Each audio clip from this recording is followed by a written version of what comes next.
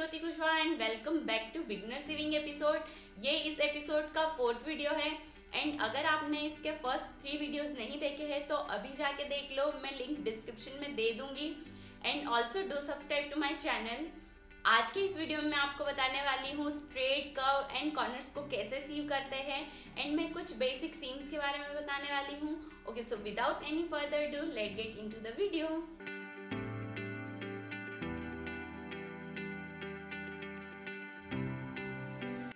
fabric पे हम ये सारे शेप्स ड्रॉ कर लेंगे, इन्हें हम चौक से बनाएँगे। धीरे धीरे प्रैक्टिस हो जाने के बाद हम डायरेक्टली गारमेंट पे भी बना सकते हैं। इस पे बनाने से ये होगा कि हमारी स्टिचिंग नीट एंड क्लीन होगी।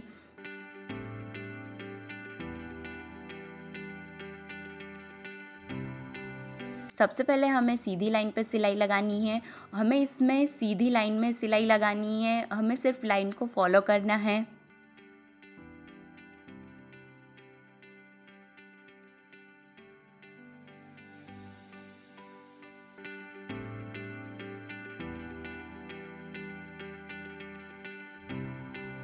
सेकेंड है जिगजैक लाइन जिगजैक लाइन पर स्टिच लगाना थोड़ा ट्रिकी होता है।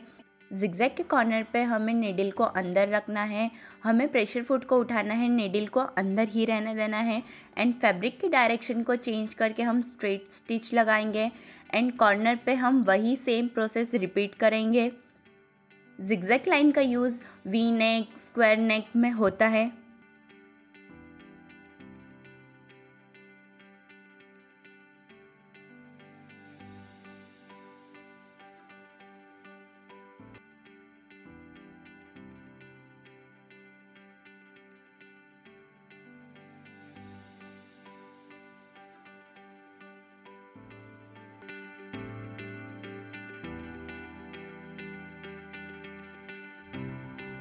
एंड थर्ड है कर्व लाइन कर्व लाइन पे स्टिच लगाना थोड़ा मुश्किल होता है बट धीरे धीरे पेशेंट से करेंगे तो हो जाएगा।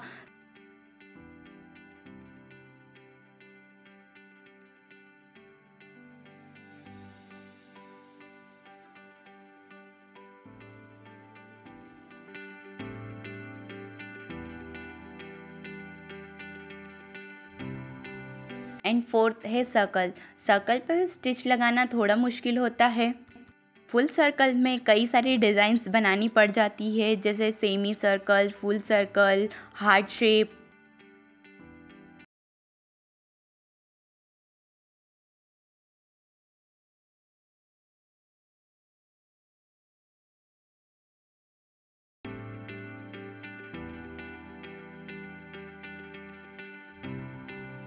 then हम पैरेलल स्टिच लगाएँगे, इन्हें हम इन्हीं शेप में लगाएँगे।